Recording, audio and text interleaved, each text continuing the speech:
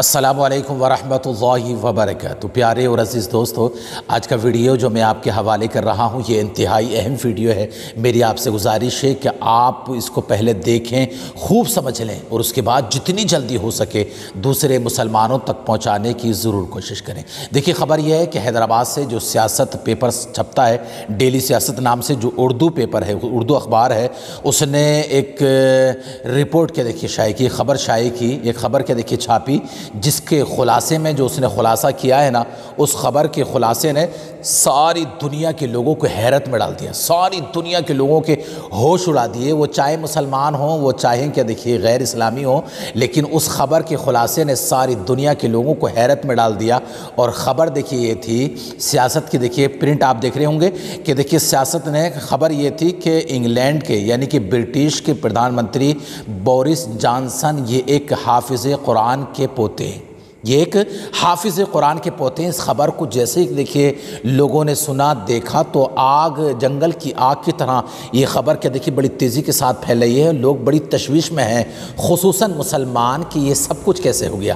لیجیے، میں پورا خلاصہ دیکھیے آپ کے سامنے رکھ رہا ہوں کہ یہ سب کچھ کیسے ہوا ہے۔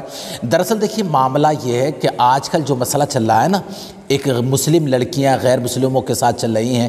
لہذا اسی طریقے سے یہودی اور نصرانی یہ بھی ایک ایک پلان کے تحت جو ہے، اس زمانے میں ایسا ہوتا تھا کہ یہودی لڑکیاں اور نصرانی لڑکیاں مسلمان لڑکوں سے شادیاں کیا کرتی تھیں۔ لیکن یہ ایک پلان کی طرح تحت ہوتا تھا اور آج کی جو مسلمان لڑکیاں جا رہی ہیں نا، میں بالکل دعوے کے ساتھ کہہ رہا ہوں، انہیں تو نہ آج کی پتہ ہے، نہ کل کی پتہ۔ ان کا کوئی پلان نہیں ہے۔ یہ تو کسی کے پلان میں خود کے دیکھے بندی جا رہی ہیں۔ ان کا کچھ نہیں ہے۔ آج جا رہی ہیں، کل مار کھا کر کے واپس آئیں گی۔ ایسے وہ سارے واقعات ہوئے ہوں۔ میرے پاس ایسی ساری کیا دیکھی خبریں موجود بھی ہیں۔ لیکن میں انگلینڈ کے پردھان منتری بورس جانسن کی کہانی بتا رہا ہوں آپ کو کہ بورس جانسن ایک حافظ قرآن کا پوتا ہے۔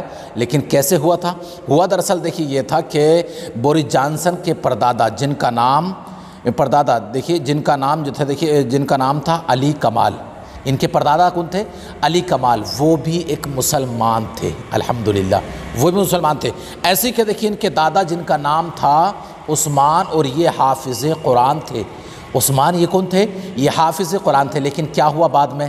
انہی کے دادا نے، انہی کے دادا نے یعنی کہ ان کے بورس جانسن کے دادا نے جو ہے ایک غیر اسلامی عورت، ایک یہودی لڑکی سے شادی کر لی تھی، جس کا نام تھا آئرن ولیمز سے شادی کر کر کے پھر کیا ہوا؟ بورس جانسن کا باپ پیدا ہوا۔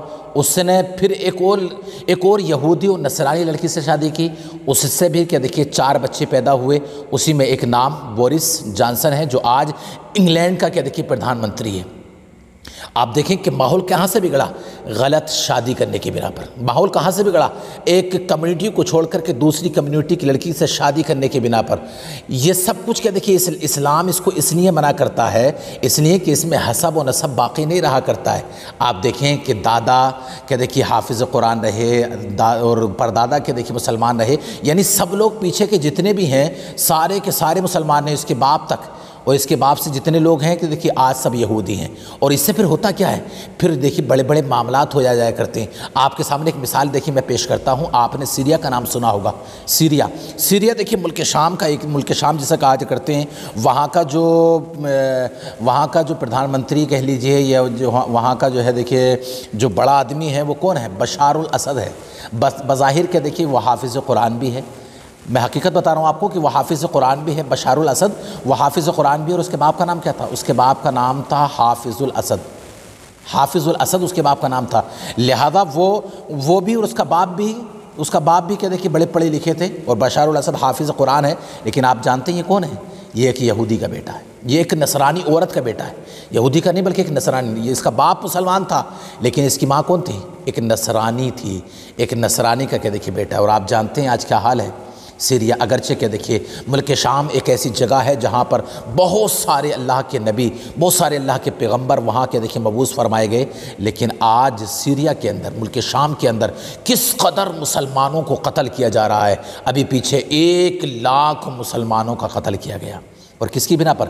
بشار الاسد کی بنا پر۔ کیوں کیا، کیوں قتل کیا گیا؟ اس لیے کہ اس کے اندر کیا ہے؟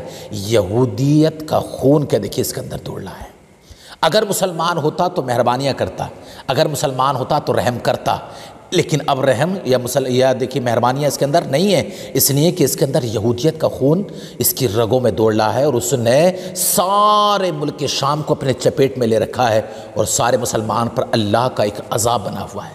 وہ ملک شام جس کے لیے نبی محترم صلی اللہ تعالیٰ علیہ وآلہ وسلم نے کبھی دعائیں کی تھی۔ تو لہذا یہ غیر کہ دیکھیے لڑکیوں سے شادی کرنا، غیر لڑکوں سے کیا دیکھیے شادی کرنا، یہ اس قدر نقصان کا باعث ہے۔ اگرچہ دنیا نہیں سمجھ رہی ہے اس کو، لیکن اسلام خوب سمجھتا ہے۔ آپ دیکھ لیں بورس جانسن وہ خود بھی کیا دیکھیے ایک پردادا، ایک دادا پردادا اس کے مسلمان رہے اور مسلمان رہے اور مسلمان پھر یہ کہ وہ حافظ قرآن رہے، یہ اس کا کیا دیکھیے بیٹا ہے۔ اس سے کتنا نقصان ہوا۔ لہٰذا آج دنیا حیران ہے کہ کاش یہ بھی مسلمان ہوتا، لیکن غلطی کس نے کی؟ وہاں غلطی کی تو آج کیا دیکھیے آپ دیکھ لیں، بڑے عہدے پر پہنچ گیا، سب کچھ ہوا، لیکن اسلام جو لقب تھا، جو اسلام کا معاملہ تھا، وہ اس سے کٹ گیا اور آج اس کی رگوں میں یہودیت اور نصرانیت کا خون دوڑ دوڑ رہا ہے، جو کہ دیکھیے مسلمانوں کے خلاف اس نے، مسلمانوں کو، مسلمانوں کے خلاف اس کو کھڑا کر رہا ہے۔ لہذا اپنے بچوں کا بہت خیال رکھیں نصب و حسب کا بہت خیال رکھیں کہ اسلام اس کی بہت جو ہے دیکھیے پاسداری کا حکم دیا کرتا ہے۔